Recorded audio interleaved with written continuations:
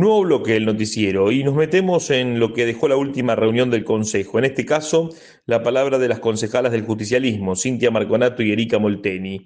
Repudio por los despidos del ANSES. Presentaron un proyecto de declaración que no fue acompañado por el bloque opositor.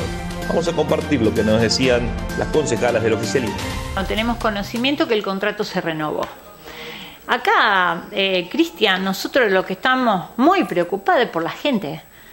O sea, ¿por qué? Porque años para tratar de descentralizar la oficina de Cañada y traerla a las parejas, donde el municipio acompaña en el alquiler del lugar, porque si no ANSES no accedía.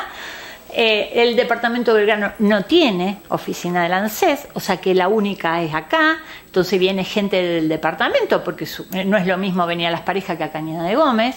Entonces, esto, 1.300, eh, son personas que han quedado sin trabajo. Pongamos el número que el, despido contratado, el debate que se armó en la mesa. No trabajan más, de los cuales uno de los 1.300 era el jefe de nuestra oficina del ANSES, Marcos Richese. Entonces, hay dos agentes donde no tiene jefe.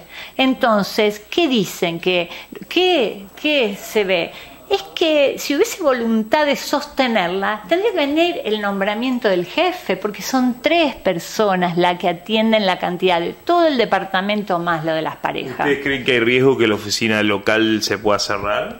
Y yo creo que como viene el panorama, pero claro que sí, porque vuelven al dibujo de atrás y dice Cañada de Gómez que absorba todo el departamento como años se llegó, entonces nosotros queremos expresar esto, que no queremos, porque lo estamos haciendo por nuestros vecinos y vecinas, que generalmente son de la tercera edad, que van a gestionar su jubilación, su pensión, los trámites. Sabemos, Cristian, lo que cuesta moverse hoy, la plata del combustible, si tiene algún familiar que te lleve, tiene que pedir el trabajo, es distinto que tenerlo en las parejas. Entonces, ¿por qué no expresamos que nosotros queremos defender nuestra oficina y no podemos? Porque como nosotros estamos acostumbrados y miramos la, militancia y la forma colectiva, no podemos pensar solamente por el, eh, abogado Richese Marco, sino pensamos por todas las personas que han trabajado en el ANSE y que también en esta situación, en estos momentos, se han quedado sin trabajo. Entonces, creo que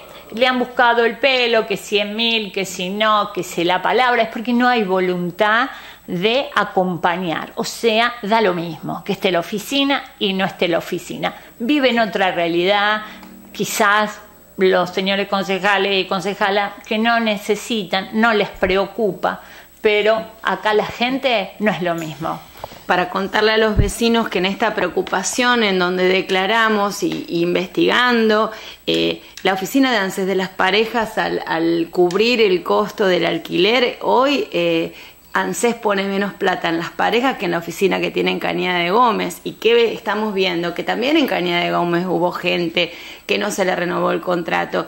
Y hoy, eh, para que nuestro, nuestra preocupación es puntualmente a esto que decía Cintia, se atienden, para que los vecinos sepan, 100 personas por día, 2.000 personas al mes. Se, obtienen 30 a 35 jubilaciones por semana en el ANSES, en las parejas. Yo, eh, o sea, pensarlo en lo práctico, ¿qué le pasa a esa mamá con hijo que tiene que ir a buscar un certificado? ¿Qué nos pasa a nosotros?